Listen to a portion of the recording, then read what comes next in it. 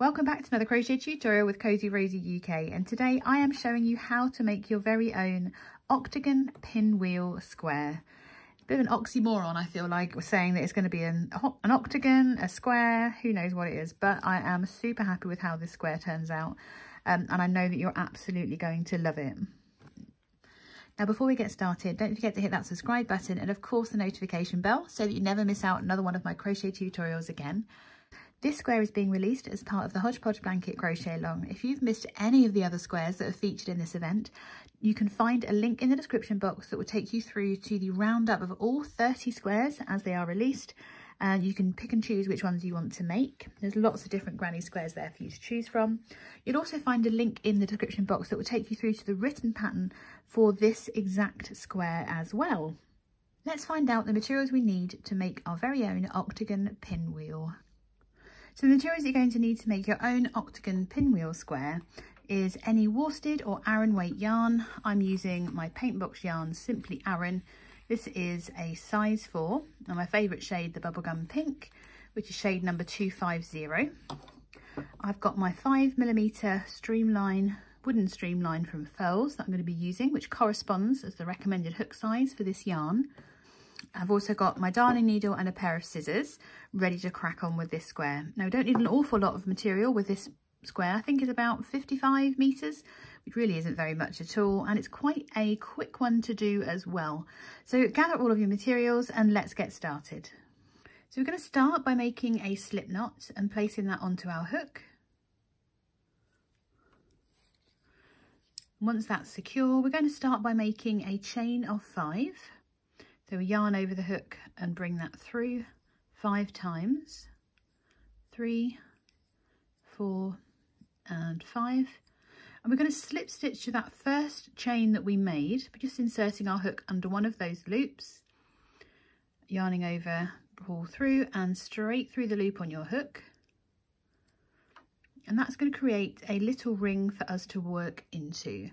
In case you can see that top where we've just slip stitched, you have to try and ignore that one. We're going for that bigger hole in the middle. We then make a chain of six. Now this chain six counts as a treble crochet and a chain two. Now that's a US treble crochet, which is the same as a UK double treble. So we chain six, so we yarn over and bring our hook through the loop on our hook six times. So that's two, three, four, five and six.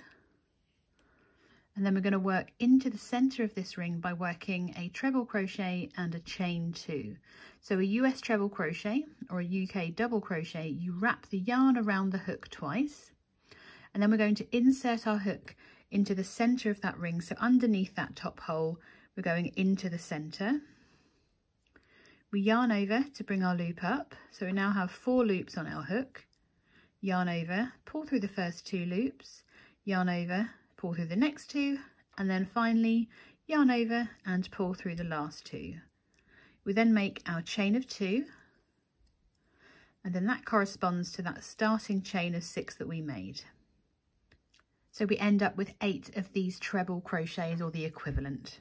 So we wrap the yarn around the hook twice, insert the hook into that center of that ring again, yarn over to bring up our fourth loop, yarn over, pull through the first two loops, yarn over, pull through the next two, and then finally yarn over and pull through the last two, followed by a chain of two. We're wrapping the yarn around that hook twice, insert the hook and repeat that US treble crochet again, followed by a chain two. So we now have one, two, three, four. We need another four. So we need to do our chain of two and then we're ready to do our next treble crochet.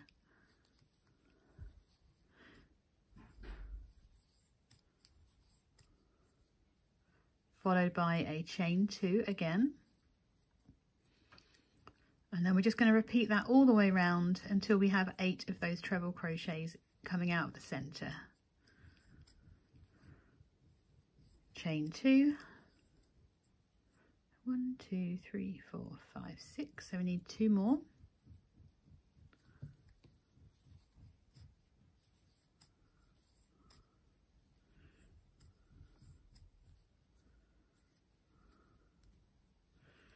This is the final one I think.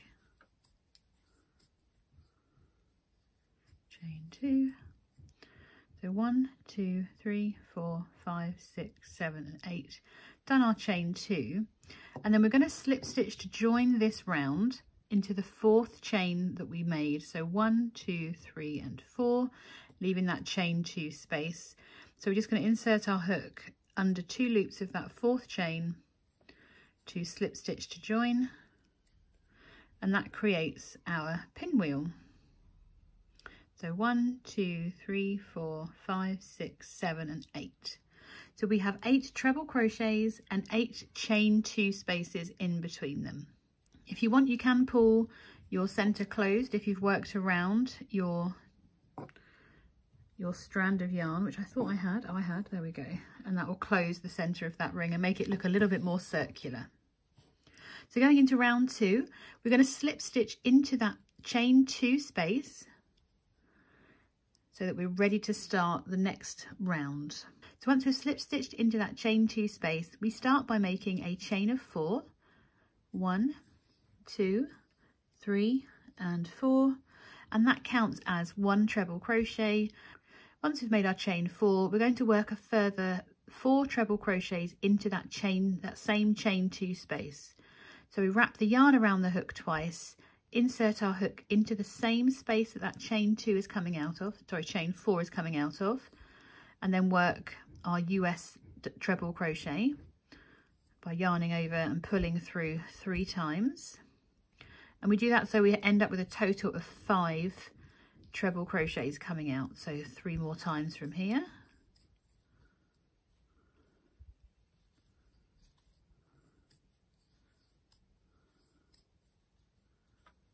And a final time. So one, two, three, four, and five. We're then going to make a chain of two and then into each of these spaces around we're going to work five treble crochets. So wrap the yarn around the hook twice and insert before completing that treble crochet.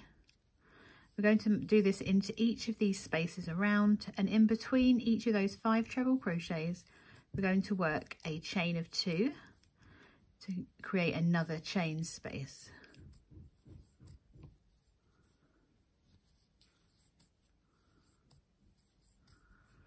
One, two, three, four, five, and then we do our chain of two.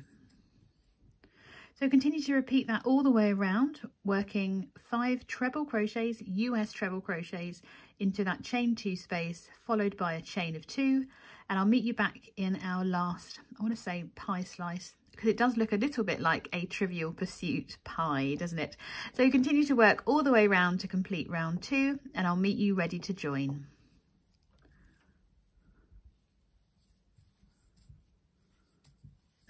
Once you've worked your eighth block of five treble crochets, you've done your final chain two, we're going to slip stitch to the top of that starting chain of four that we made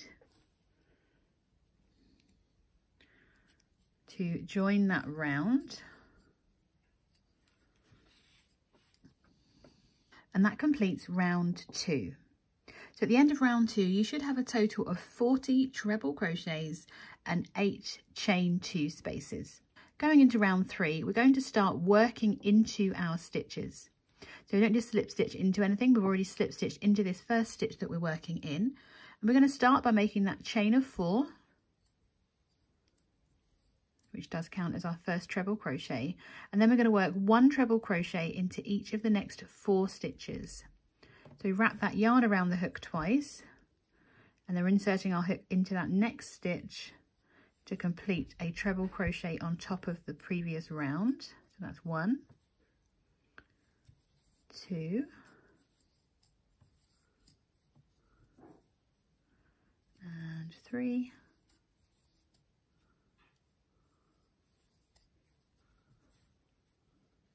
and four.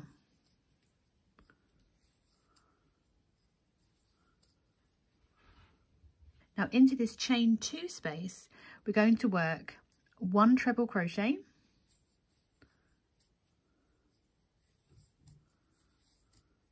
A chain two. And a further treble crochet into that same chain two space. We're then going to work one treble crochet into each of the next five stitches before we repeat what we've just done in the next chain two space. Remembering to wrap that yarn around the hook twice, work one treble crochet into each of the next five stitches,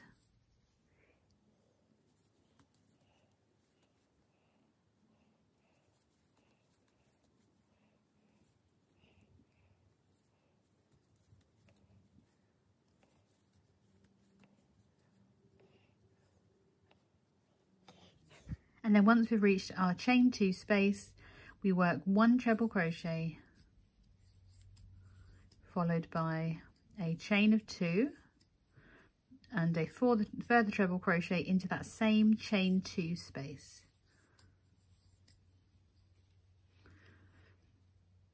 So we're going to repeat that all the way round into each of the next five stitches. We're going to work one treble crochet, followed by one treble crochet, chain two, and a further treble crochet.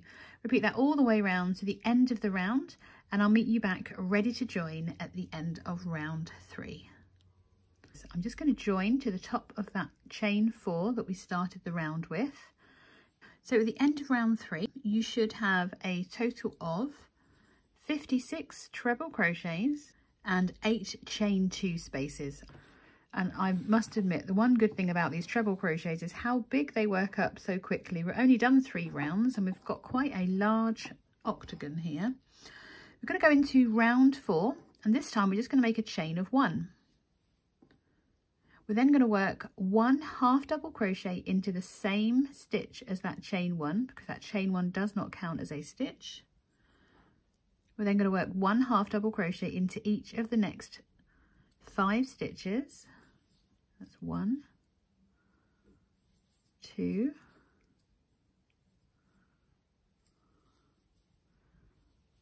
three, four, and five.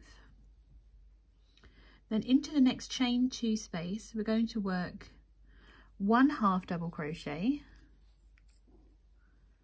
a chain one, followed by a double crochet, a US double crochet.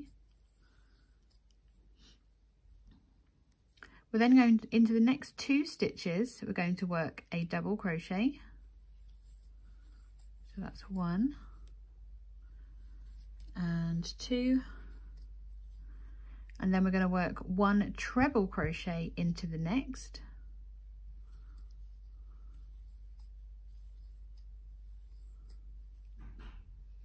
We're then going to make a chain of six. That's one, two, three, four, five, and six.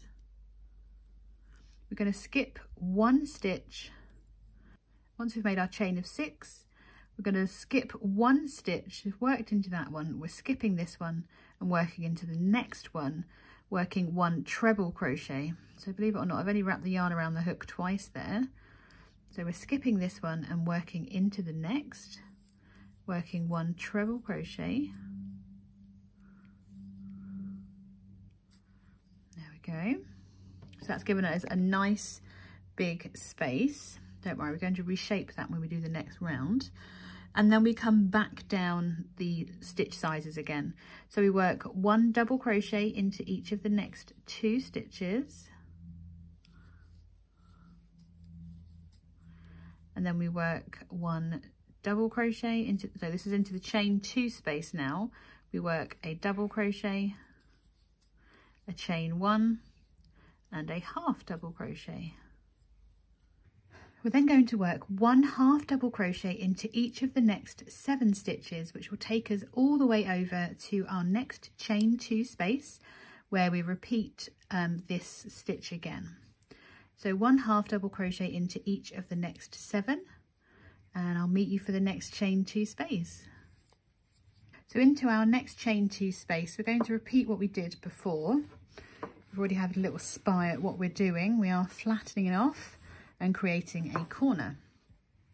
So into this chain two space here, we're going to work a half double crochet followed by a chain one we then work one double crochet into the same chain two space. A chain one and then we work a double crochet into the same chain two space.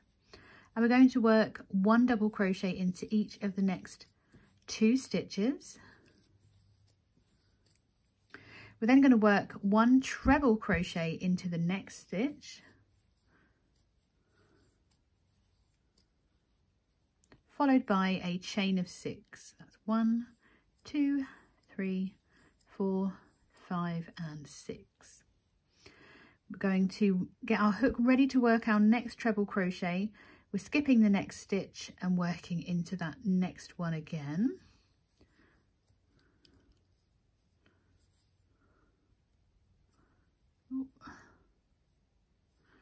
Got myself confuddled and twisted here. Just need to come through that. Oh, there we go chain got a bit out of control there. And then we come back down again in those stitch sizes. So into the next stitch we're working a double crochet.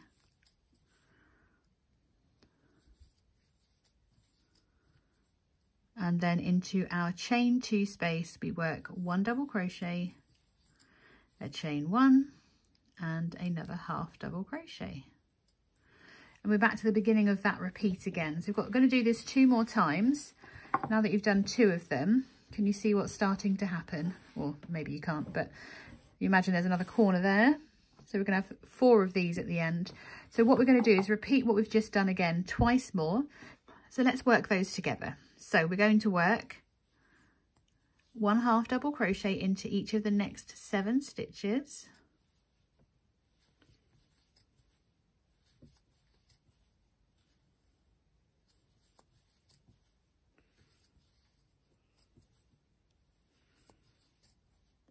Then into the next chain one, sorry, next chain two space, we're going to work a half double crochet, a chain one, followed by a double crochet. We then work one double crochet into each of the next two stitches, followed by a treble crochet into the next. We're then going to work a chain of six, five and six, double wrap my yarn, ready to skip the next stitch and work a treble crochet into the next one along. I'm going to not make that mistake again, tidy it up before I go, there we go. We then work back down again, so we're working a double crochet into the next two into that next chain two space. We work a double crochet chain one half double crochet into that same chain two space. And we're nearly there. Just got one more repeat to do. So we start by making one half double crochet into each of the next seven stitches. So once we've worked those seven half double crochets into the chain two space we work one half double crochet a chain one followed by a double crochet. One double crochet into each of the next two stitches followed by a treble crochet. We're then going to make our chain of six. Four five six. I'm going to double wrap my hook. Ready? Have I got two on there? Nope ready to work. I'm going to skip that next one, working into the next with a treble crochet. And we come back down for a final time, so one double crochet into each of the next two stitches. Into that final chain two space, one double crochet, chain one, half double crochet. Then we just need to work one double crochet into the top of that first stitch, that last stitch, sorry and then we're ready to slip stitch to join to end round four. So let's have a little look to see what we've made so far. Well, that's looking a decidedly more square, is it not? So we only have one more round to go, believe it or not. And we're going to start our round five with a chain of one. And what we're going to work is into each stitch and each chain one space around, so in between these two here, we're going to work one half double crochet. Let's do that first part together. So we work one half double crochet into each, to the same as our chain one, and then into each stitch around and into each chain one space. That's three, four, five, six, seven, and eight. Oops. Oh no, that's the chain one space, is it? Yeah. And seven, and then into that chain one space, we work another half double crochet we're going to work one half double crochet into these next stitches as well. That's one, two, three, and four. And then into our chain six space, we're going to work three half double crochets. So that's one, two, oops, and three, and a chain of three, one, two, three, and a further three half double crochets into that same chain six space. Two and three. So that's going to give us our final corner. And here's our edge here as well. So it's all looking pretty nice and square here. So we're going to continue to work around working one half double crochet into each stitch and into each chain one space around. We're then into each of these chain six spaces, we're going to work three half double crochets, chain three, and a further three half double crochets. So continue to work around and I'll meet you for our last section of our final round of round five. I just worked one half double crochet into that final chain one space and I have one more half double crochet to work until I'm back to where I started for round five. So I'm just going to slip stitch to that first stitch that we made.